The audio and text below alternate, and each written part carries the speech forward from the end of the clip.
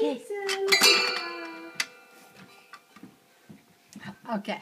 Now Miss Celestina is going to play Chopin. Huh? Okay, Stina. So Stina. Stina. Giggly Yeah, just a Giggly